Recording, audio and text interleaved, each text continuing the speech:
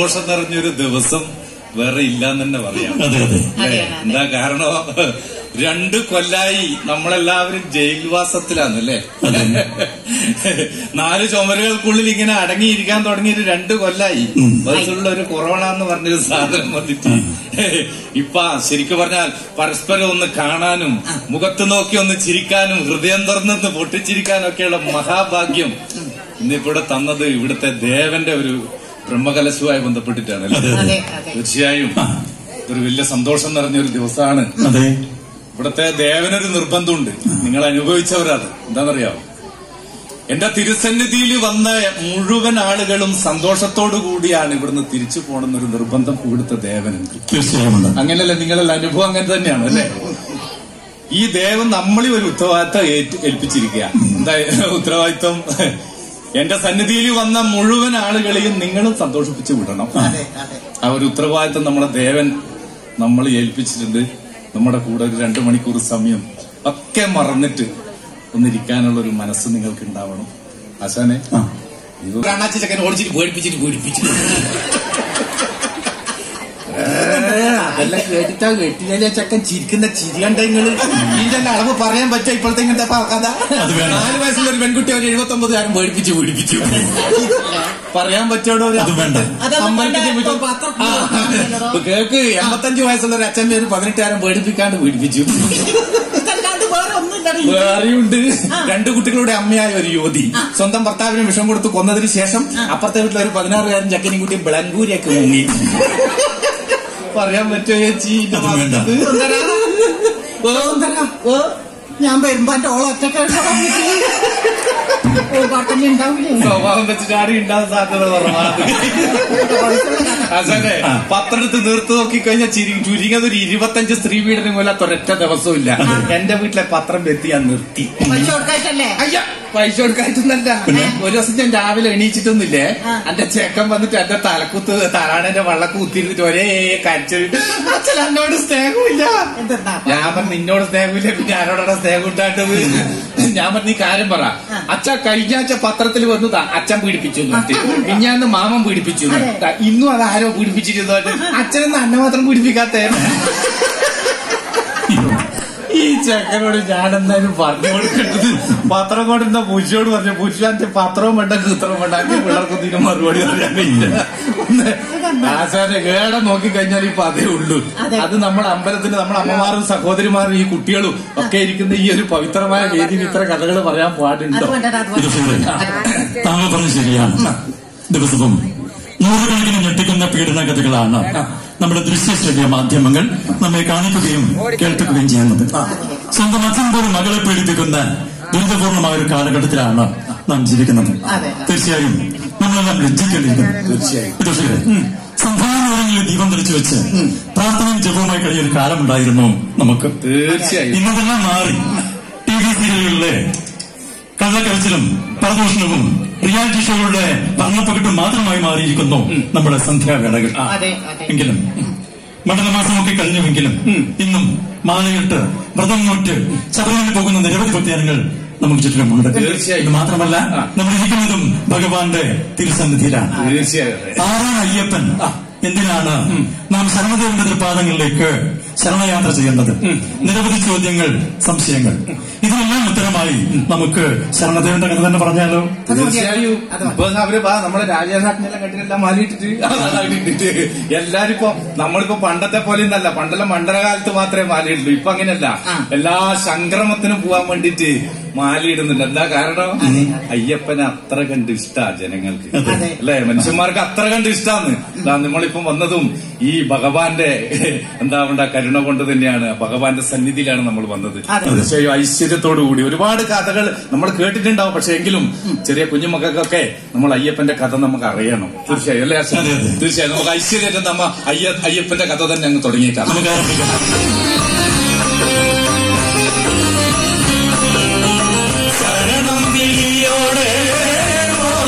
ഓർത്തിരുന്നാലയ്യൻ മനസ്സിലെ പമ്പയിൽ ജോലിയാകുന്നു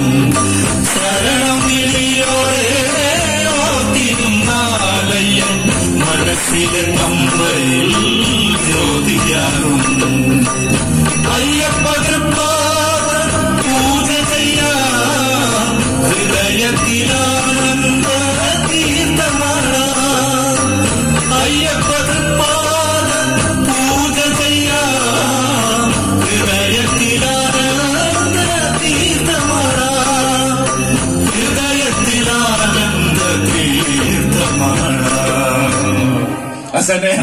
അയ്യപ്പന്റെ കഥ പറയുമ്പോ അതെ.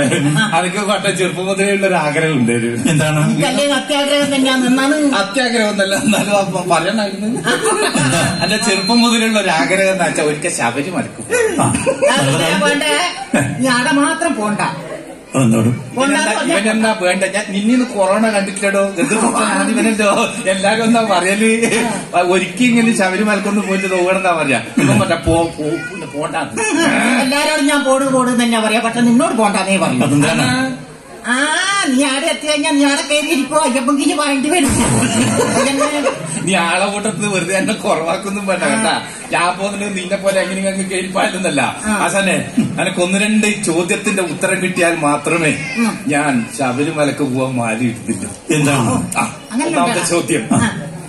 ശബരിമലക്ക് പോകാൻ മാല ഇടുന്നതിന് മുമ്പ്. ഒരാൾ അറിഞ്ഞിരിക്കേണ്ട കാര്യങ്ങൾ എന്തൊക്കെയാണ്? അങ്ങനെയല്ലോ രണ്ടാമത്തത്. ആ. എന്തൊക്കെ വ്രതങ്ങളാണ് ഒരു സ്വാമി അനുഷ്ഠിക്കേണ്ടത്. അത് മാത്രല്ല ശബരിമലയിലേക്ക് പോകാൻ ഒരു സ്വാമിക്ക് വേണ്ടുന്ന യോഗ്യത എന്താണ്?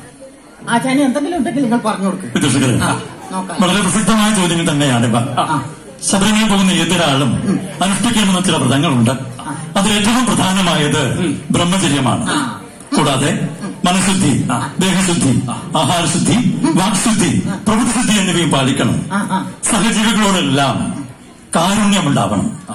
മാറിയിട്ട ഒരാൾ സ്വയം സ്വാമിയാണെന്ന് വിചാരിക്കുന്നതോടൊപ്പം തന്നെ തന്റെ സഹജീവികളെല്ലാം സ്വാമിമാരാണെന്ന് കരുതുകയും വേണം.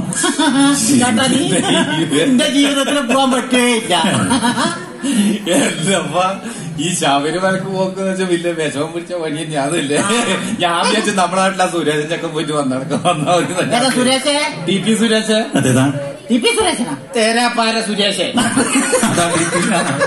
ഈ സുരേഷന്റെ സ്വഭാവ ലേശം നേരിയാട്ടും വെച്ച് പിടിച്ചിട്ട് മാലിടിച്ച എന്നടോ ഇവന് എങ്ങനല്ലോ ഒരാഴ്ച തന്നിരി ഇങ്ങനെ അങ്ങോട്ടേക്ക് പോകുമ്പോ ഇരുമുടി കെട്ട് തിരിച്ച് വീട്ടിലേക്ക് വരുമ്പോ ഇരുമുടി കെട്ടും കൊണ്ടാ വന്നു ഭഗവാൻ ഇതൊന്നും അവിടെ കൊടുക്കാണ്ട വന്നിന് മറന്നു മറന്നുപോയതൊന്നല്ല ഇങ്ങനെ അങ്ങോട്ടേക്ക് പോകുമ്പോ തേങ്ങ അരി മറ്റുള്ള സാധനം നെയ് തേങ്ങ എല്ലായിട്ട് അങ്ങോട്ടേക്ക്.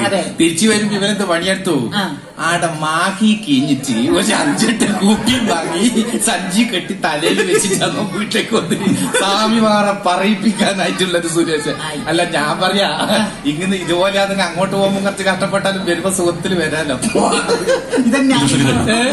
ഇതിനപ്പുറം ഒരു അധപതനം ഒരാൾക്ക് സംഭവിക്കാനുണ്ടോ ജീവിതകാലം മുഴുവനും ശുദ്ധമായ ചിന്തയും വാക്കും പ്രവൃത്തിയും വ്രതമാക്കി നല്ല മനുഷ്യനായി ജീവിക്കാൻ തന്നെയാണ് അയ്യപ്പൻ നമ്മളോട് പറയുന്നത്. ആ ജീവിത പാഠത്തിലേക്കുള്ള ആദ്യത്തെ ചുവടുവെപ്പ് തന്നെയാണ് മാലയുടെ. മനസ്സിലായോ? അപ്പൊ വെറും മാലയിട്ട് പോക്കല്ല. അല്ല. ഒരുപാട് പാഠങ്ങളുടെ ഒരു വില ഭാണ്ഡക്കെട്ടാണ്. തുടക്കമാണ്. അല്ലേ?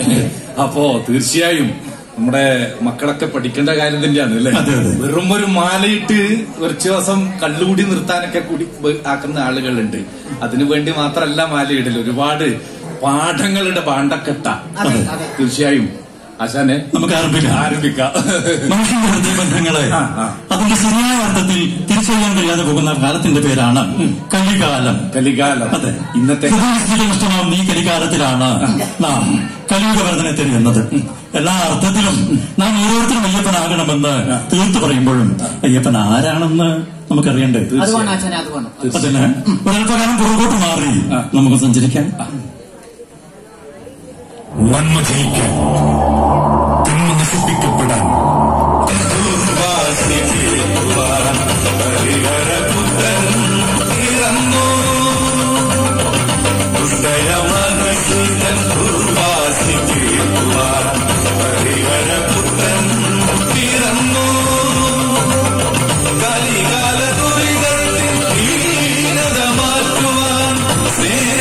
Thank you.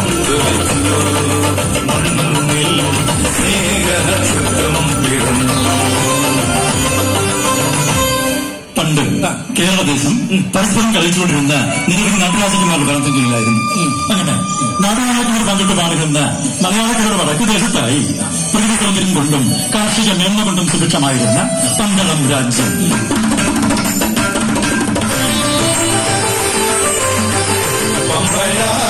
കനിഞ്ഞൊരി വന്ദന കുളിരത്തിൽ ലാവണ്യവതിയായി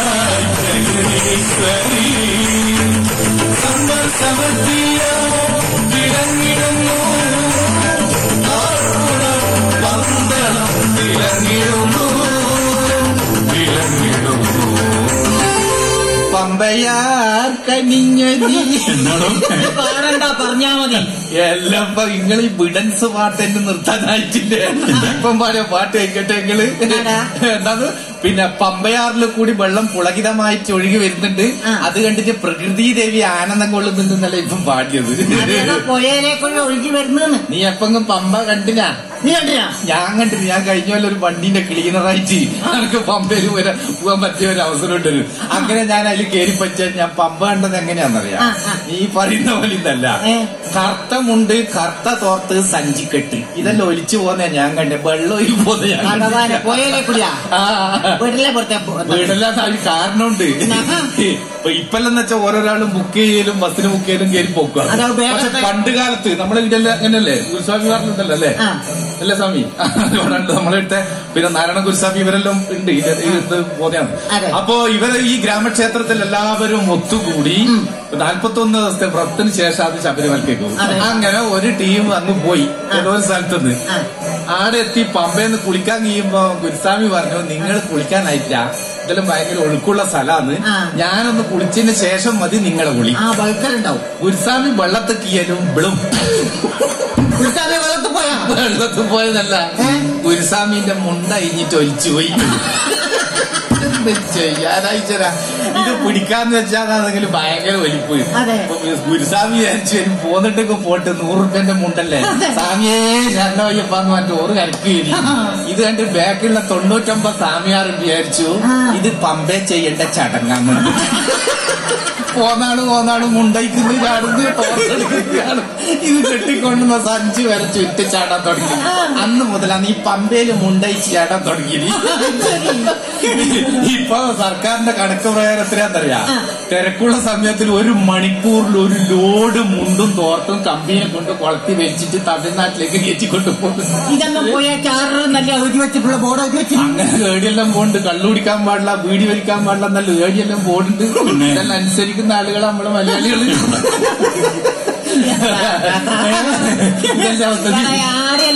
പക്ഷെ. വേറൊരു കാര്യം നിങ്ങൾ മനസ്സിലാക്കണം? നമ്മുടെ ഹിന്ദു ആചാരപ്രകാരം പ്രകാരം ഈ പമ്പാ നദി എന്ന് പറയുന്ന നമ്മുടെ പുണ്യ നദിയായിട്ടാണ് ആചരിച്ചു പോകുന്നില്ലേ അപ്പോ ഇവിടുന്ന് നാൽപ്പത്തി ഒന്ന് ദിവസത്തെ വ്രതം എടുത്ത് പോയിട്ട് പമ്പാ നദിയെ മലിനമാക്കിയിട്ട് നാട്ടിലേക്ക് വന്നാൽ. ഈ ഭഗവാന്റെ എന്തെങ്കിലും ഒരു ആനുകൂല്യം കിട്ടാൻ സാധ്യതയുണ്ടോ സ്വാമി? നമ്മളെ നശിപ്പിച്ചിട്ടാ നാട്ടിലേക്ക് വരുന്നത്. അത് നന്നാക്കിയിട്ടല്ല. ആടെയല്ല അങ്ങനെ എന്തെല്ലോ വൃത്തികേടുണ്ടാവും. പക്ഷെ എന്റെ നാട് അങ്ങനെയൊന്നുമല്ല. അപ്പൊ ഇന്റെ നാടേടി വഴി പാവം കാവും വയ്യ ബാക്കി മുക്കാവും വയ്യ അടി പോയി പോയി ഈ കാൽ മാത്രമേ. നിങ്ങൾ പറയുന്ന പോലത്തെ അലസ് പുളിസ് നാടൊന്നല്ല എന്റെ നാട്.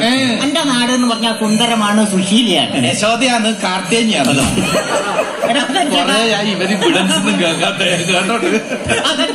ശുചിത്വം. അത് പിന്നെ ഇവന്റെ നാട്ടിലും വീട്ടിലും തൊട്ട് തെറിപ്പിച്ചിട്ട് ആ കോലം തന്നെ കേട്ടപ്പോ ശുചിത്വത്തിന്റെ കാര്യത്തിൽ ഒന്നാം സ്ഥാനത്ത് എന്റെ നാട് പ്രത്യേകിച്ച് എന്റെ വീട് അതുകൊണ്ട് എനിക്കൊരു കുഞ്ഞോ നിന്റേതായോണ്ട്. എടാ കഴിഞ്ഞാൽ ശുചിത്വത്തിനുള്ള അവാർഡ് ആയിരിക്കാട്ടിയെന്ന് എന്നോട് ചോദിച്ചു. എന്റെ കോവിഡ് സമയത്ത് കിറ്റ് വൈക്കലും വെറുതെ കൊടുത്തിരു സർക്കാർ. ഇതിന്റെ കൂട്ടത്തിൽ അവാർഡും വെറുതെ കൊടുത്തില്ല. ഈ ഒക്കെ അവാർഡ് കിട്ടും അവാർഡ് കിട്ടി എനിക്ക് വിളിക്കൂല? നിന്നോടൊന്ന് പറഞ്ഞു ശുചിത്വത്തിന്റെ. നിങ്ങൾ കേൾക്കണേ? ഇവൻ ഇവന്റെ പോലും കഴിഞ്ഞ ശുചിത്വത്തിന്റെ അവാർഡ് കിട്ടി. മഹാറാണിയും വിനയത്തിന്റെ പ്രതിരൂപം ദാനശീലം കൊണ്ട് മഹാലക്ഷ്മിയും എന്നവൾ പന്തളം ദേശത്തെ മുത്തശ്ശിമാർ വിനയത്തിനും ദാനശീലത്തിനും മഹാറാണിയെ മാതൃകയാക്കാൻ പോലും പേരക്കിടങ്ങളെ ഉപദേശിക്കുമായിരുന്നു. എല്ലാവർക്കും അത്ര കണ്ട് പ്രിയങ്കരിയായിരുന്നു പന്തളത്തിന്റെ മഹാറാണി. വസന്തം മടിക്കും പന്തളരാജിൽ നിന്ന് വിട്ടുപോകാൻ. ഗ്രീഷ്മം മടിക്കും. രാജ്യത്തേക്ക് തിരിച്ചു വരാൻ. അങ്ങനെ ഗ്രീഷ്മവസന്തങ്ങളുടെ സൗഭാഗ്യങ്ങളും സ്വപ്ന സുഗന്ധവും ആയിരം പറ കൊയ്യുന്ന വിളനിറങ്ങളും അടിയാക്കുടിയിലും മുടിയോണ്ട കൊട്ടാരത്തിലും ഒരുപോലെയോളമാകുന്ന മാവേലി നാട് പോലെ ഐശ്വര്യ സമൃദ്ധി നിറഞ്ഞ പന്തളം രാജ്യം.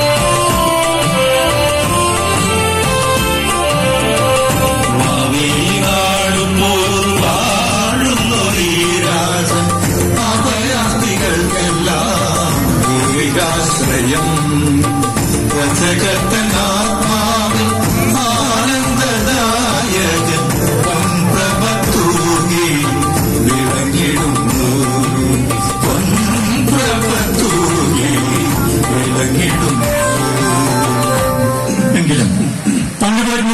നടക്കുന്ന മഹാരാജാവിനും മഹാറാണിക്കും ഒരു ദുഃഖം. മഹാരാജാക്കന്മാർക്കും ദുഃഖം. അപ്പൊ ഇതെന്തായി കേൾക്കുന്നത്? നമുക്കങ്ങാറ്റാന്ന് വിചാരിക്കാം നമ്മളെ ഗതികേട് കൊണ്ടാ ദുഃഖം ഇവിടെ രാജാക്കന്മാർക്ക് ദുഃഖം വന്നാൽ പിന്നെ പ്രജകളെ അവസ്ഥയെത്തിയിരിക്കും മഹാരാജനെ മഞ്ഞകളുന്ന ആകാശത്ത് കാർമേഘങ്ങൾക്കിടയൊഴുകുന്ന ചന്ദ്രൻ നോക്കി. കണ്ണീർ വാർക്കും മഹാറാണി. എന്തിനാ? എന്തിനെന്നല്ലേ?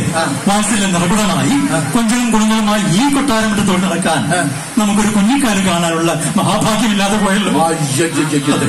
മനുഷ്യന്റെ ഏറ്റവും വലിയ ദുഃഖം വയ്യാതാവുന്ന കാലത്ത് കൈത്താങ്ങായി നിൽക്കാനും പാരമ്പര്യം നിലനിർത്താനും സ്വന്തമായി മക്കളില്ലാത്തത് തന്നെയാണ്.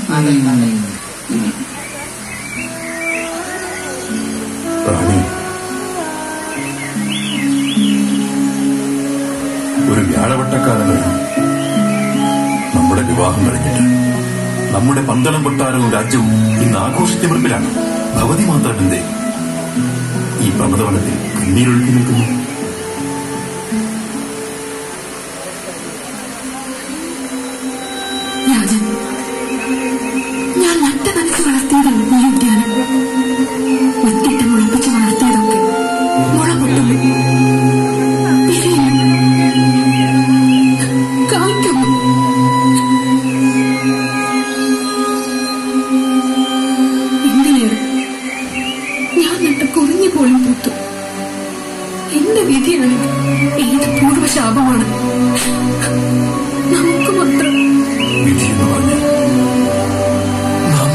やった!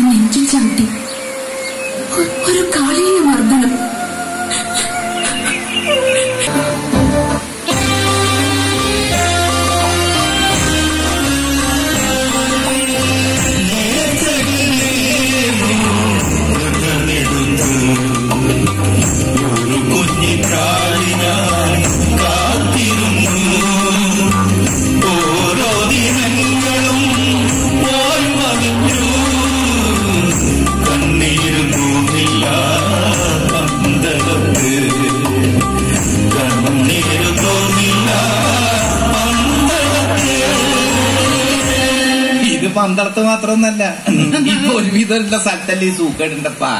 ഈ കുട്ടടില്ലാത്ത സൂക്കേട് എന്റെ നാട്ടിലില്ലേ? നിനക്ക് ആ ദാമോരട്ടിനെ അറിയില്ലേ?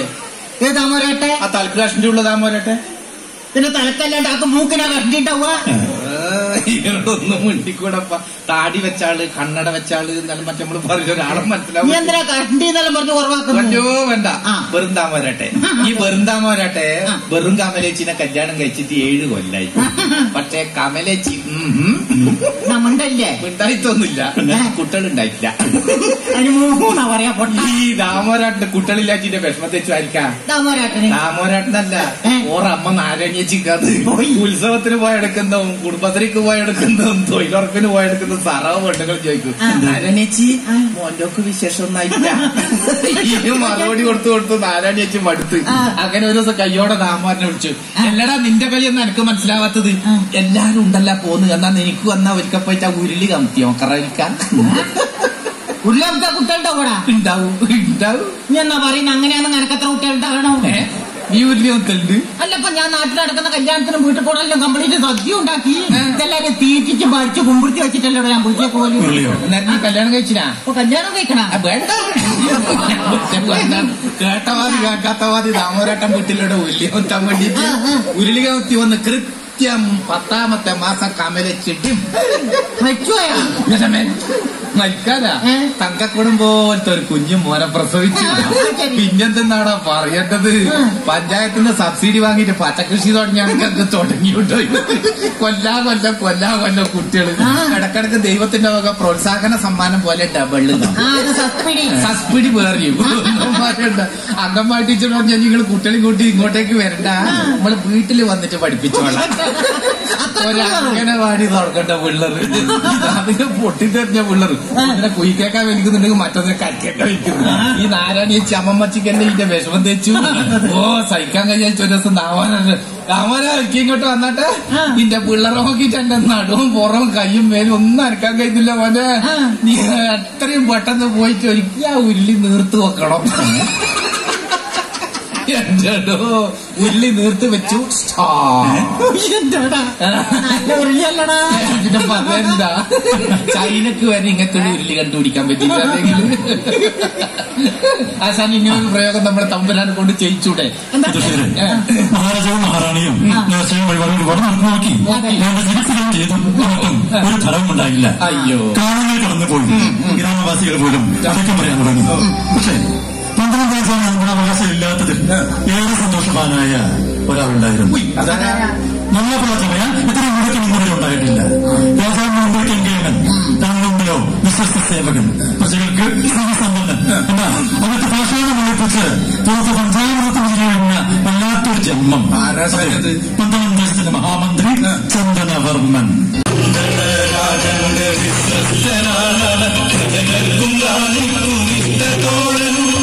അങ്ങനെ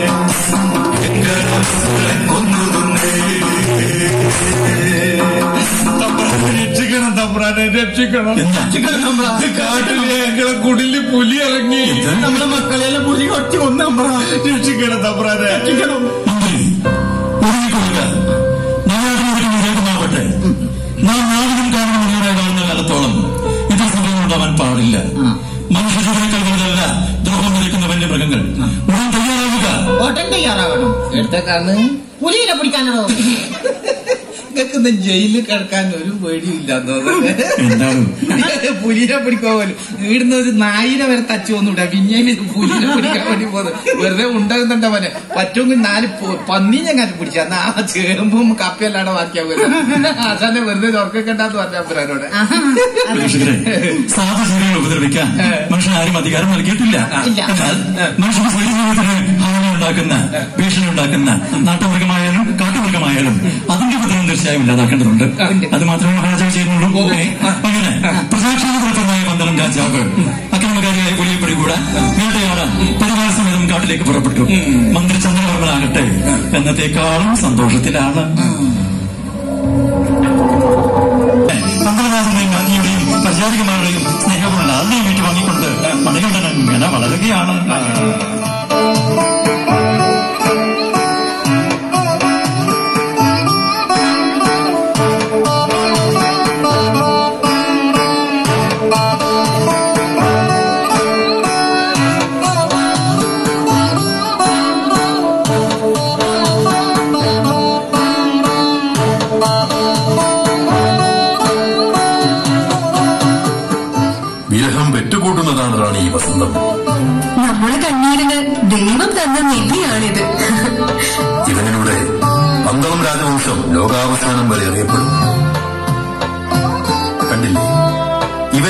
ശേഷം തുലാവർഷത്തിൽ കുതിരുന്ന മഴമേഘങ്ങൾ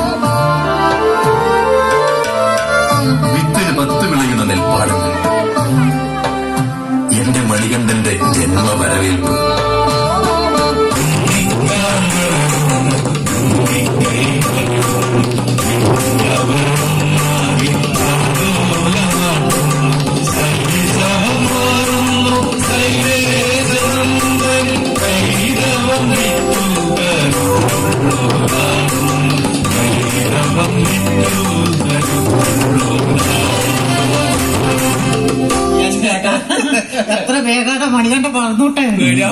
വളരാണ്ടിരിക്കട്ടെ ചെറുപ്പം മുതലേ നല്ല പൊടിയെല്ലാം കൊടുക്കുന്നുണ്ട്. പിന്നീട് അവിടെ പിള്ളേർ വേഗം വല്ല മണ്ണമ്മ കണ്ടിക്കണ്ട് എന്ത് പൊടി? മൂക്കപ്പൊടിയാ?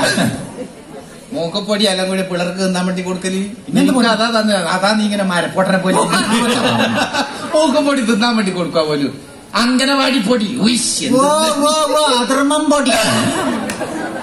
ആ ധർമ്മം പൊടിയാ. ആ അംഗനവാടിയിൽ നിന്ന് കിട്ടുന്ന പൊടി. നിങ്ങളെ അ- അംഗൻവാടി ടീച്ചറെ നിങ്ങളെ അംഗൻവാടിന്ന് കൊടുക്കുന്ന പൊടിന്റെ പേര് അധർമ്മം പൊടിന്നാ. എന്നാ ഉറങ്ങാട്ടിട്ട് എനിക്ക് തച്ച് കൊന്നുകളില്ല. അമൃതം അമൃതം ഇത് നല്ല പൊടിയാ പോലും. പക്ഷെ പറഞ്ഞിട്ട് എന്താ കാര്യം? അന്റെ ഇളയ ചെക്കനിത് പറ്റുന്നേ ഇല്ല. എന്താണ്? ഓൾ കൂടി കാച്ചി കുറുക്കി കൊണ്ടുവന്നിട്ടാകുമ്പോ ഞാൻ ഇതിനെ മലത്തി കട്ടിയിട്ട് രണ്ട് കവളിൽ വെള്ളം കൂത്തി കയറ്റി തിക്കി പിടിക്കുമ്പോൾ ഓൾ സൂണ കൊണ്ട് കോരി പരും. ഞാൻ വെള്ളം വരിക്കലോട് കൂടി. ചന്തി ഓളി വീട്ടത്തേക്ക് തൂപ്പിയിട്ടുണ്ട് പിന്നെ അനക്ക് നോക്കും പണിയായിട്ട് ഇത് മറിക്കാൻ കഴിയണം. ഞാനും ഓളും രാവിലെയും വൈകുന്നേരം കുറേശ്ശെ കുറേ ഇത് കാച്ചി കുടിക്കുന്നുണ്ട് ചില സോളും ഉണ്ടാക്കും കട്ടൻ ചായക്ക് ബെസ്റ്റായി സാധനം. അല്ല എന്റെ തടി കാണുമ്പോ തിരിയുന്നുണ്ട്. അല്ല എല്ലാം മിണ്ടല്ല അംഗൻവാടി ടീച്ചറെ കിട്ടിയിട്ട് കണ്ടിട്ട് കൊളാക്കുക പക്ഷെ മൂത്തോൻ അങ്ങനെയല്ല. ഓനേതാ മുതൽ നിറയങ്ങൾ എന്നാടാ? വീട്ടിൽ നിന്ന് ഉണ്ടാക്കുന്ന ഒരു സാധനം ഓന് വേണ്ട. അതാ? ഓന് വില്ല വില്ല വില്ല തറവാട്ട് പറഞ്ഞ സാധനല്ലേ ഓ തിന്നൂലും? അതേതാ അപ്പൊ തറവാട്ട് പറഞ്ഞ സാധനം? വർമ്മ. ഓ ജഗന്നാഥ വർമ്മയാ? ജഗന്നാഥ പിള്ളേർ തിന്നിട്ട് വർമ്മയും. മുണ്ടായിട്ട് കൊലിക്കാറുണ്ട്? ഷവർമ്മ. ഷവർമ്മ. പേരിലിന് കിട്ടുന്ന അച്ഛനിച്ച അച്ഛാ എനിക്കനി ഷവർമ്മ വേണ്ടേ വീണ്ടേ മക്കളായി പോയില്ല കൊണ്ടു കൊടുക്കാണ്ടിരിക്കാൻ കഴിയാ. ഇത് വാങ്ങാൻ വേണ്ടി ഞാനൊരു മാവുംകാലിന്റെ താഴെ വീടൊക്കെ പോയിട്ട് കണ്ടിട്ടാ കഞ്ഞി വെട്ടിത്തച്ചു പയനിക്കുന്ന് മുട്ടയടിക്കുന്ന പോലെ ഒന്നിന്റെ മുകളിൽ നിന്ന് ചെത്തി ചെത്തി ചെത്തി ചെത്തി കീറ്റുന്നത് എന്നിട്ട് തച്ചോളി ഉദയനും ബാൾപ്പാറ്റും നടത്തും പോലെ രണ്ട് ബാൾ കൊടുത്ത് ഒരു ബാൾപ്പായിട്ടെല്ലാം നടത്തിയിട്ട് ഒരു കള്ളത്ത് പോയി ഇങ്ങത് ആ, ആ. ഇത് ടി വി കാണുന്ന ചെക്കൻ നല്ലോണം തിന്നുന്നുണ്ട്. ഒരു ദിവസം ടി വി കണ്ടുകൊണ്ട് ഇത് തിന്നുന്നുണ്ട്. അനക്കെന്തോ ചെറിയ ഡൗട്ട് കൂടിയിട്ട് ഞാൻ മെല്ലെ ചെക്കന്റെ അടുത്ത് വന്ന് നോക്കുമ്പോ ഞാൻ എന്നാ കാണുന്നത് ചെക്കന്റെ ബായിന്ന് ചിരിന്റെ പള്ളക്കെ കൂടി ഇത്ര നീളുള്ള ഒരു പുഴിച്ചു എടാ നീ വാങ്ങിയ സാധനം മാറിപ്പോയി. നീ വാങ്ങിയ പുഷുർമ്മ ചെക്കൻ ചോദിച്ചു അല്ല ചന്ത ഈ ഷവർമ്മ എന്ന് പറഞ്ഞാൽ ഞാൻ മോനെ ഷവർമ്മ എന്ന് പറഞ്ഞ ശവത്തിനെ കൊണ്ടുണ്ടാക്കുന്ന ഉണ്ടാക്കുന്ന സാധനമാണ് ശവത്ത് പുശു വരാൻ തുടങ്ങിയ പുശുർമ അതെ. അതാണ് ഇപ്പൊ തിന്നോണ്ടിരിക്കുന്നത് നമ്മക്കെന്തിനാണ് ഇതിന്റെ ആവശ്യം? നമ്മളെ വീട്ടിൽ എന്തെല്ലാം നമ്മളെ പണ്ട് അച്ഛപ്പനും അച്ഛമ്മയിലും എന്തെല്ലാം തിന്നിട്ടാ വളർന്നിരുന്ന നീ ചക്ക കപ്പ ചേമ്പ് താൾ തവര കാമ്പ് കൂമ്പ്. ഇതെല്ലാം തിന്നിട്ടില്ലട നമ്മൾ വളർന്നിട്ട് ചെക്കൻ എന്താ പറയുന്നറിയാ? നിങ്ങളെല്ലാം ചാവാനായിട്ട് അത് മതി. പക്ഷെ അനക്കത് പോരാ. അനക്കിനി കുയിമാന്തി തിന്നണം കുയിമാന്തി കുറുക്കനും പറഞ്ഞു എന്തിനാടാ പന്നി തിന്നും പോലെ കുയിമാന്തി തിന്നാൻ നിൽക്കുന്നത്? പറഞ്ഞു അതല്ല ചാ കുയിമാന്തി എന്ന് വെച്ചപ്പോ ഒരു ബിരിയാണി ഉണ്ട് അതാ എനിക്ക് വേണ്ടത് കുയിമാന്തി ബിരിയാണി. എടുക്കാൻ ഈ ചെക്കന് ടേങ്കല്ലാണ്ട് പറ്റുന്നില്ല. എന്തെന്ന് ചെയ്യാനാ? കക്കൂസിന്റെ ടാങ്ക് ടേങ്കാട് ആട് കുടിക്കാൻ. മഞ്ഞ. മഞ്ഞ ടാങ്ക് ആ. കക്കൂസിന്റെ ടാങ്ക് മഞ്ഞ ചെയ്യും? മോനെ ആ ടി വി കുത്തി കലക്കി കൊടുക്കുന്ന മഞ്ഞ വെള്ളത്തിന്റെ വരുന്ന രസനയാ രസമുണ്ടോന്നാ ഞാൻ കുടിക്കില്ല ചെക്കൻ വലിച്ച് കുടിക്കുന്നതാണ്. നീ എന്റെ വീട്ടിൽ വരുന്ന വരക്കില്ല ഇതാ കലക്കി കൊടുക്കൽ? ഷെയിം ഷെയിം പപ്പി ഷെയിം ഞാൻ എന്റെ വീട്ടിൽ വരുന്ന വരക്ക് കൊടുക്കൂല ഞാൻ നല്ല സാധനം കൊടുക്കും. ഇപ്പൊ നല്ല സാധനം. ഓ. എന്റെ വീട്ടിൽ വാഷിംഗ് മെഷീൻ ഉണ്ടല്ലോ.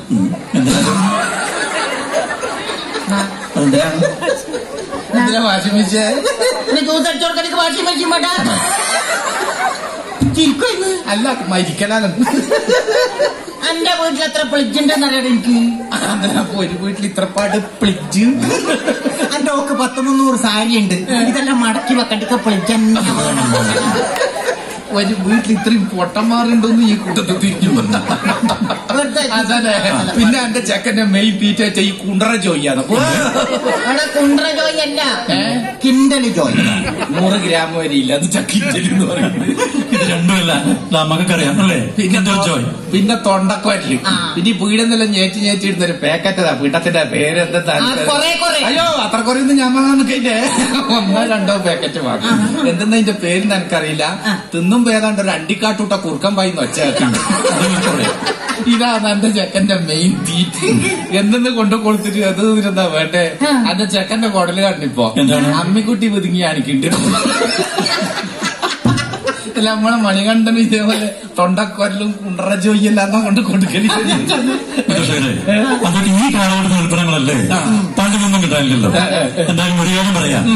കുട്ടിക്കാലം മുതലേ ടി വിയിലെ പരസ്യങ്ങൾ കണ്ട് വളരുന്ന നമ്മുടെ പൊന്നു മക്കൾ അവരുടെ നിർബന്ധത്തിനും ശാന്തത്തിനും ഒക്കെ വഴങ്ങി എന്തൊക്കെ കുപ്പിപ്പാനീയങ്ങളും എന്തൊക്കെ പാക്കറ്റ് ഭക്ഷണങ്ങളുമാണ് നമ്മൾ അവർക്ക് വാങ്ങിച്ചു കൊടുക്കുന്നല്ലേ പക്ഷേ അതെ അതെ. പക്ഷെ നിങ്ങൾ വേറൊരു കാര്യം മനസ്സിലാക്കണം? വലിയ വലിയ പൈസക്കാരെ മക്കളെല്ലാം കുണ്ടറ ജോയി വാങ്ങി തന്നു നമ്മളൊക്കെ ഒരു ആഗ്രഹം ഉണ്ടാവില്ലേ? ഒരു അരക്കുണ്ടറ ജോയി തിന്നണമെന്ന് എന്നിട്ട് എന്ത് കാര്യം? ഏറെ കാലം കേടുകൂടാതെ സൂക്ഷിക്കാനും സ്വാദ് വർദ്ധിപ്പിക്കാനും വേണ്ടി നിരവധിയായ രാസപദാർത്ഥങ്ങളും മാരകമായ രാസപദാർത്ഥങ്ങൾ ഇതിലെല്ലാം ചേർക്കുന്നുണ്ട്. ഇവർ പലതും ക്യാൻസറിന് പോലും കാരണമാകുന്നുവെന്ന് ശാസ്ത്രം തെളിയിക്കുകയും ചെയ്തിരിക്കുന്നു. അതെ. എന്നിട്ടും തിരിച്ചറിവില്ലാത്ത സാഠ്യങ്ങളുടെ പേരിൽ. തിരിച്ചറിവുള്ള നമ്മുടെ രക്ഷിതാക്കൾ തന്നെ പിന്നെയും പിന്നെയും ഇതൊക്കെ നമ്മുടെ മക്കൾക്ക് വാങ്ങിച്ചു കൊടുക്കുകയല്ലേ? നമ്മുടെ മക്കൾ ആയുസ്സും ആരോഗ്യവും നമ്മൾ തന്നെ അറിഞ്ഞുകൊണ്ട് നശിപ്പിക്കുകയല്ലേ? നമ്മുടെ മക്കൾക്ക് നല്ല ഭക്ഷണം തന്നെ കൊടുക്കണം. നല്ല ഭക്ഷണം എന്ന് പറയുമ്പോൾ വില കൂടിയ വിഷമയമായ ഭക്ഷണം എന്നല്ല. പോഷക സമ്പുഷ്ടമായ സമീകൃത ആഹാരം തന്നെ നമ്മുടെ മക്കളുടെ ആരോഗ്യത്തിന് ആയുസ്സിന് ആരോഗ്യത്തിന് വേണ്ടി കരുതി വെക്കാൻ നൽകാൻ ഓരോ രക്ഷിതാവിനും ഓർമ്മിച്ചുകൊണ്ട് നമുക്ക് കഥയിലേക്ക് തിരിച്ചു വരാം. അങ്ങനെ മണികണ്ഠന് ഗുരുകുല വിദ്യാഭ്യാസത്തിനുള്ള സമയമായി ഗുരുസംഗത്തിലേക്ക് പറഞ്ഞേക്കാനുള്ള ഒരുക്കങ്ങൾ മഹാരാജാവ് ആരംഭിച്ചു. എന്നാൽ ഒരു നിമിഷം പോലും മണികണ്ഠന് പ്രിയോഗിക്കുന്ന മഹാറാണിക്ക് മണികളുടെ വേർപാട് താങ്ങാവുന്നതിനും അപ്പുറമായിരുന്നു. മാറുതിരത്താത്ത അവരുടെ സ്നേഹവും കിട്ടാത്തവരുടെ മാതൃഭാവവും കണ്ണൂരായ ഒഴിഞ്ഞുകൊണ്ടേയിരുന്നു മാറോട് ചേർത്ത് മുറിച്ചു മുറുകയിലും നെറ്റിയിലും. അങ്ങനെ മാതാപിതാക്കളുടെ കാക്കട്ട് ചേർത്തും വാങ്ങി മണികണ്ഠൻ ഗുരുകുലത്തിലേക്ക് യാത്രയായി.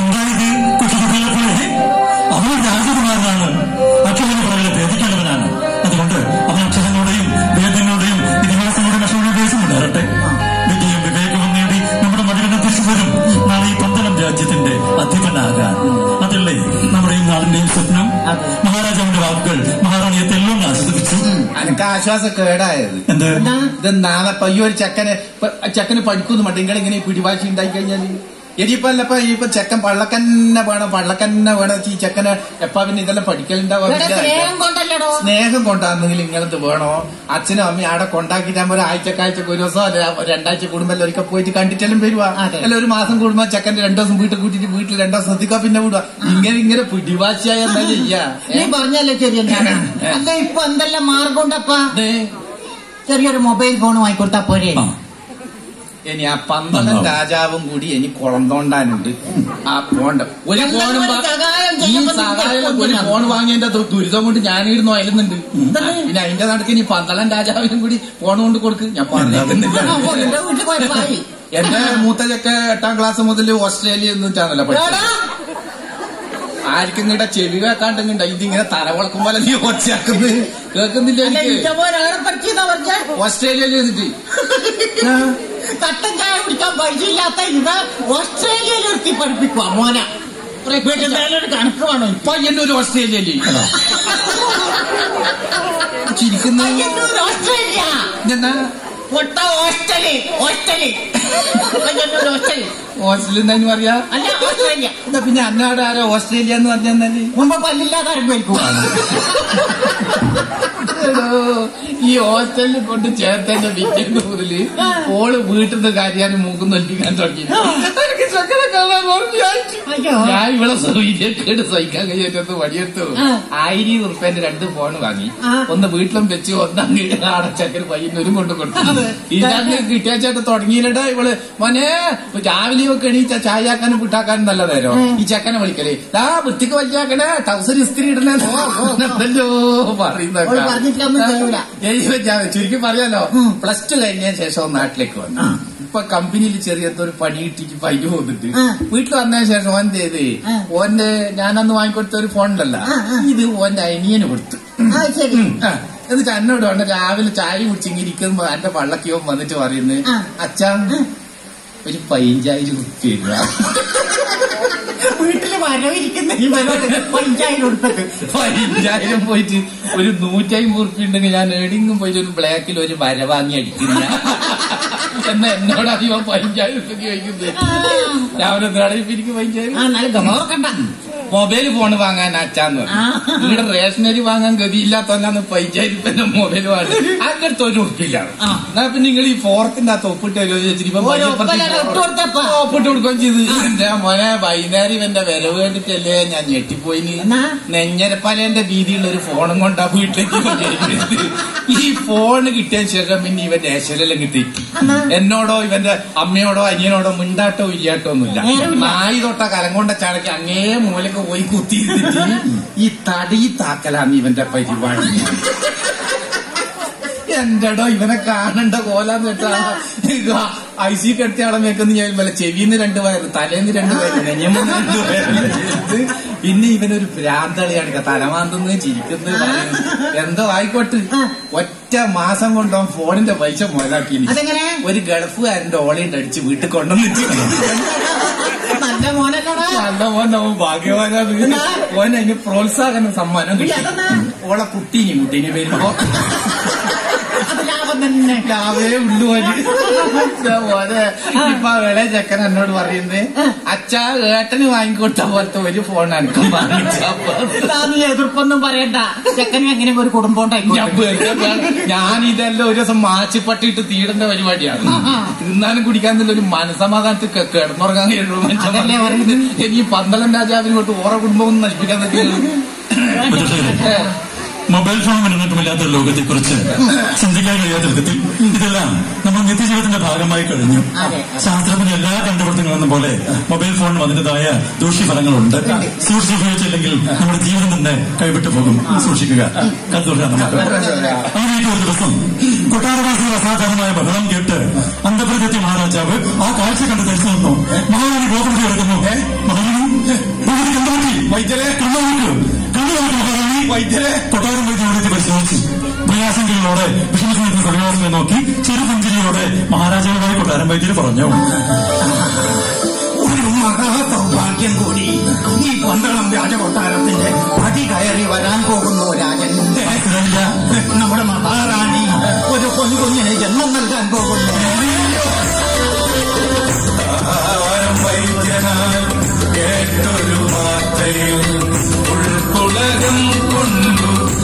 രാജവും രാജ്യവും പ്രാർത്ഥന കേട്ടു നേർച്ച വഹിച്ചു പുതുപിറവിക്കാൻ കാത്തിരുന്നു. പുതുപിറവിക്കാൻ കാത്തിരുന്നു. കൊട്ടാരമാകെ ആഘോഷമുഖരിതമായി രാജകീയമായ പരിചരണങ്ങൾ ഔഷധ സേവകൾ എന്നാൽ ആഹ്ലാദഭരിതരായ കടലാസുകളിൽ ഒരാൾ ഒരാൾ മാത്രം.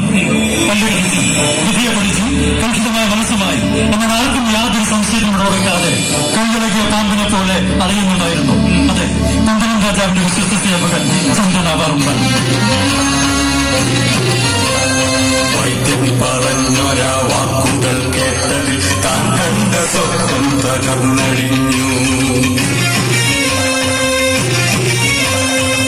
രാജസിംഹാസനം മോഹിച്ച മന്ത്രിക്ക്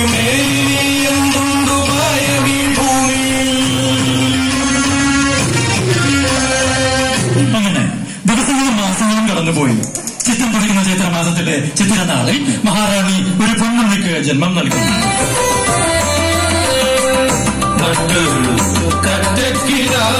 സന്തോഷമല സന്തോഷമലകല്ലി പന്തലത്തെ ചൂണ്ടാനുറക്കുവൻ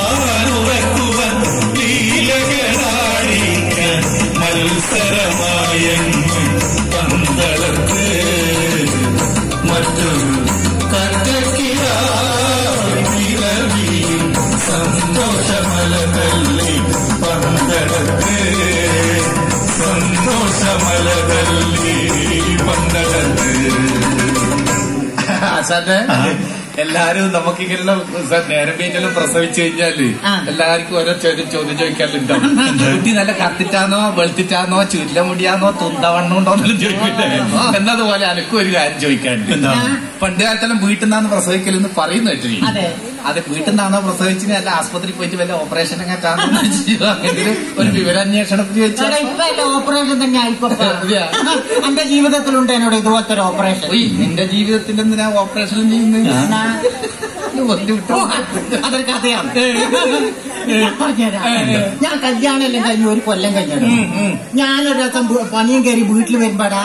എന്റെ ഓളി ചാത്തിയോ ഓടി ചാത്തി കണ്ടിക്കണ്ടേ? ചത്തിക്കണ്ടിക്കണ്ടേ എന്നാ? തീറ്റി കുറച്ച് കുറയ്ക്കാൻ വേണ്ടി പറ. ഞാൻ വന്ന ഓളോട് പറഞ്ഞു ബാങ്കി ബാങ്കി. അതെന്നാ സാധനം? വേഗം ജീൻ ആസ്പത്രി പോണ്ടേ അതാ ഇപ്പം കേട്ട്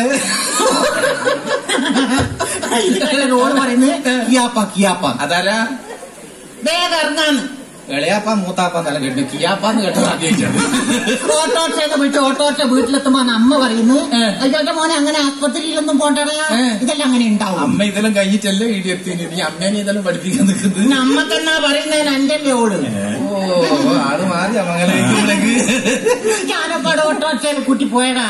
എന്റെ അമ്മ എത്രയാ ദൂരോ. എന്തിനാ ഇവിടെ അടുത്തുള്ള ഏതും ഗവൺമെന്റ് ആസ്പത്രി കാണിച്ചാ പോരെ? ഇത്ര ദൂരെല്ലാം പോണ്ട ആവശ്യത്താ? എന്റെ പോളിസ് ഗവൺമെന്റ് ആസ്പത്രി. എടാ അങ്ങ് ദൂരെ പോണം? എന്നാലേ ഗമി ഉണ്ടാവും. ഓ ചികിത്സ മാത്രം പോരാ. ഗമിയും വേണം അങ്ങനെ എന്റെ മോനെ ഓടി ഓടി ആസ്പത്രിയിൽ എത്തിയടാ ആടെ എത്തിയോക്കും ഭയങ്കര ക്യൂ. ഇപ്പൊ രണ്ട് സ്ഥലത്താ കാര്യമായ ക്യൂ. ഒന്ന് ആസ്പത്രിയിൽ ഒന്ന് ബീവറേജിന്റെ മുമ്പിൽ രണ്ട് സ്ഥലത്ത് ഈ സുഖത്തിന്റെ മരുന്നിന് ക്യൂ നിൽക്കുന്ന. എന്ത് ക്യൂ ആണോ വേണ്ടിയില്ല ഡോക്ടറെ കണ്ടിട്ടേ വരൂന്ന് ഞാൻ. ഞാൻ അവളോട് പറഞ്ഞ ക്യൂ നിന്നു? അങ്ങനെ ക്യൂ നിന്ന് മോനെ ഒരു ജാതി ഡോക്ടർ റൂമിന്റെ മുമ്പിലെത്തി.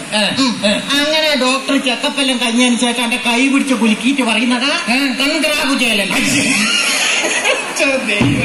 എന്ത് വൃത്തിയായിട്ടാ ചീത്തയായി ഇവനെ ഡോക്ടർ പറഞ്ഞത്? കഗ്ര കുജേലെന്ന് പോലും. എന്നത്? പിന്നല്ലേ ഡോക്ടർ പറഞ്ഞിട്ട് ഏ. അച്ഛനാക്കാൻ അച്ഛനാകാൻ പോകുന്നു അച്ഛനാ ഇനിയിപ്പം അറിയാ പറയാ? അപ്പൊ ഇന്റെ പറഞ്ഞിട്ടുണ്ടാവും പറഞ്ഞിട്ടുണ്ടാവുന്ന ഇത് കേട്ടാൽ എനിക്ക് ഭയങ്കര സന്തോഷമായി. സന്തോഷമുള്ള കാര്യത്തിനല്ലേ പറഞ്ഞു പിന്നെ സന്തോഷം കെട്ടിനെ? അയാളെ. ബില്ല് വന്നേരം അയ്യായിരം റുപ്യ ബില്ല്. എനിക്ക് അങ്ങനെ വേണം. ചികിത്സ മാത്രം പോലല്ല ഗമയും വേണ്ടേ. കൊടുത്തോ? ഇരുപത്തഞ്ചായിരം കൊടുത്തോ? പൈസ കൊടുത്താ തിരിച്ചു വരുമ്പോ ഓട്ടോറിക്ഷ നിറയെ കുളിക്കുകയും മരുന്നു. എല്ലപ്പ ഈ കുട്ടികൾ ഉണ്ടാകുന്ന സൂക്കാടം കാറ്റാ സൗദാമിനി ഇവരെന്തേ ഓ. ഇവരെന്തിനാ ഇവന്റെ ഓളെന്തിനാ ഇങ്ങനെ ഗുളിക നിന്ന്? അനക്ക് പഠിച്ച ഡോക്ടർ പറയുന്നതാ കാക്കണ്ട അല്ല നീ പറയുന്നതാ കാക്കണ്ട. എന്തോ ഞാൻ വീട്ടിലത്തെ ഒരാളോട് പറഞ്ഞു മോളെ പൈസ കൊടുത്ത് വാങ്ങിയതാണ് ഒറ്റ കുളിക്കും കളയാൻ പാടില്ല മരുന്നും കളയാൻ പാടില്ല. ഒന്നും കളയണ്ട വല്ല പിട്ടങ്ങാറ്റാക്കിട്ട് തിന്നോ? ഇവിടെ പറഞ്ഞവർക്കെന്നെ രാവിലെ തുടർന്ന് തിന്നേ. എട്ട് മണിക്ക് തിന്നും കുളിക്കാം ഉച്ചയ്ക്ക് തിന്നും കുളിക്ക രാത്രിയും തിന്നും കുളിക്കാം മരുന്ന് ഒന്നും പറയണ്ടടാ. അങ്ങനെ കുടിച്ചു കുടിച്ച് അഞ്ചെട്ട് മാസം കഴിഞ്ഞു. എന്നേരാണ് എന്റെ വീട്ടിന്റെ അപ്പുറം ഇപ്പുറമുള്ള ആൾ പറയുന്ന മോനെ. ഇപ്പൊ ഭയങ്കര പ്രശ്നമാണ് ബേങ്ങോട്ടേക്ക് അഡ്മിറ്റ് ചെയ്തോ? ശരി. എന്റെ പ്രശ്നം കൊണ്ട് ഇനി ഒരു കുഴപ്പമായി പോണ്ട. പോണ്ട. ഞാൻ ബേങ്ങോട്ടേക്ക് അഡ്മിറ്റ് ചെയ്യും. ഒരു മൂന്നാലാഴ്ച കഴിഞ്ഞിട്ട് ഒന്നുമില്ല അയ്യോ എന്റെ കീശയിലെ പൈസ എന്നാ എന്നാലും ശരി. എന്നാ രണ്ടോ ദിവസം ഡോക്ടർ വിളിക്കുന്നു. വലിപ്പോ നീ വന്നിട്ട് ഒരു കാര്യം പറയാനുണ്ട്. ഞാൻ പേടിച്ചോണ്ട് ഇയാളെ റൂമിൽ കാലെടുത്ത് വെച്ചിട്ടേ ഉള്ളൂടാ ഇയാൾ എടുത്തേ പൈസ എന്നോട് ചോദിക്കുന്നു ഭരണി തന്നെ ഡോക്ടർക്ക് ഭരണി കച്ചവടം ഉണ്ടാ. ഭരണി നക്ഷത്രം പോരേ ഓ, അയ്യോ ഭരണി നക്ഷത്രം വാങ്ങുവേ? വേണ്ട. അത് ചൊറിയാത് കട്ടിയ മുട്ടിയ ബക്ക് പൊട്ടു. പിന്നെ ബക്ക് പൊട്ടിയ വരണി ഇപ്പൊ അമ്പലത്തിലും വെച്ച് പുഷ്പാഞ്ജലി എഴുതുമ്പോ ബക്ക് പൊട്ടിയ വരണി കഴിച്ചാട്ടോ അത് അതല്ല. എന്നറിയാ ഇന്ന് പോയിട്ട് ഭരണി തരാം. നാളെയാണ് കാർത്തിക. മറ്റന്നാൾ രോഹിണി. അത് തരാൻ പറ്റൂല. അന്നേരപ്പടിയോ പോവാൻ തോന്നില്ല അപ്പൊ ഇതെല്ലാം ഒരാളെ സൗകര്യത്തിനനുസരിച്ചില്ല പ്രസവം ഇപ്പൊ അങ്ങനല്ലേ പണ്ടല്ലേ വേറെ ഇപ്പൊ കീറല്ലേ? ഇത് പറയുമ്പോ ഇപ്പോഴത്തെ ഇതും പണ്ടത്തെ വിചാരിക്കുമ്പോ ഞാൻ നമ്മളെ നാട്ടിലെ പാറോട്ടി പറയുന്നേ. ഓറെ മൂത്ത ചെക്കൻ പപ്പനെ പറ്റത് നെല്ല് മുറിഞ്ഞോണ്ടിരിക്കുന്നതിന്റെ നടുക്ക് വഹിച്ചാൽ മതി പണ്ടെല്ലാം അങ്ങനെയാണ്. നെല്ലൂത്തിക്കും പോലപ്പ. ആ നെല്ലൂത്തിക്കൊണ്ടിരിക്കും പ്രസവിക്കാൻ പറ്റിയ വേഗം പോയി പ്രസവിച്ചു വന്ന് അടുക്കത്ത് കൂത്തും. ഇപ്പൊ ആടെന്തോ ഇതൊരു സൂക്കായിട്ടായിട്ട് ആചരിക്കുന്നുണ്ട്. അനക്ക് തോന്നി പെണ്ണുങ്ങളെ തട്ടിപ്പാന്നോ സംശയം അത് സത്യാട്ടാ. വീട്ടിൽ മിക്സി വന്ന് വാങ്ങിയാലോ ഓൾ സുലു അറിയുന്ന എന്നോട് ഇനി എന്തിനാണ് നമുക്ക് ഈ പഴയ കല്ലിന്റെ അമ്മിയല്ലോ. പറഞ്ഞു തീരുന്ന ഇത് എടുത്തിട്ട് ആ പപ്പാട്ടിന്റെ കുണ്ടടയിലേക്ക് വലിച്ചാടിയിട്ട്. അന്ന് വിളിക്കാൻ നടു ഇന്ന് നേരെയായില്ല. എന്തോ ഇപ്പൊ നടക്കുന്ന വാനം തന്നെ വേണോ? കട്ടേ വത്ത് അട്ടേ വത്ത് ആ, മതി മതി മതി. ഇരട്ടകളെ നാട്ടിലായാലും വീട്ടിലായാലും അധ്വാനമെല്ലാം ഉപേക്ഷിച്ച് നമ്മൾ യന്ത്രങ്ങളുടെ പിന്നാലെ പോകാൻ തുടങ്ങിയ ശേഷമുള്ള സംഭവങ്ങളാണ് ഇതെല്ലാം. അതെ അതെ അതെ. അധ്വാനവും കഥ തുടരാം അങ്ങനെ മഹാറാണി ഒരു പൊന്നുണ്ണിക്ക് ജന്മം നൽകി. കരങ്ങളിൽ നിന്ന് കരങ്ങളിൽ കൈമാറി പൊന്നുണ്ണി വളർന്നു. അങ്ങനെ എനിക്ക് കൂടുതൽ വിദ്യാഭ്യാസം കഴിഞ്ഞ് മണികണ്ഠൻ കൊട്ടാരത്തിലേക്ക് മടങ്ങി വരേണ്ട സമയമായി. നന്മതൻ കേദാരം പന്തളം രൗദ്രത പിന്നെയും സമാധാനിപ്പിച്ചു. ഭയപ്പെടുന്ന വെച്ചാ ഞാൻ പോയിക്കൊള്ളാം. മോനെ മണികണ്ഠൻ നീ എന്താണ് ഈ പറയുന്നത്? ബാബന് നിനക്കറിയില്ല. കടൽ കൊള്ളക്കാരനാണ് അവന്റെ അവന്റെ വാളിന് മുമ്പിൽ മോനെ അച്ഛനാ പറയുന്നത്. വാവനെ നേരിടാൻ ഇവിടെ ചതുരന്റെ സേനയുണ്ട്. അവർ പോകട്ടെ. പണികണ്ട നീ പഴയ കടക്കൊപ്പം വേണ്ടച്ച വാവനെ നേരിടാൻ ഒറ്റയ്ക്ക് പോയിക്കൊള്ളാം. ഒറ്റയ്ക്ക് മഹാറാണിയോടെയും മഹാരാജാവിന്റെയും കഥകളെയും വാങ്ങി മണികണ്ഠൻ വാവനെ നേരിൽ പുറപ്പെട്ടു. മന്ത്രിയാവട്ടെ മണികണ്ഠൻ നേരിൽ കാണാൻ കുറുക്കു വഴിയോടെ നടന്നു നീങ്ങി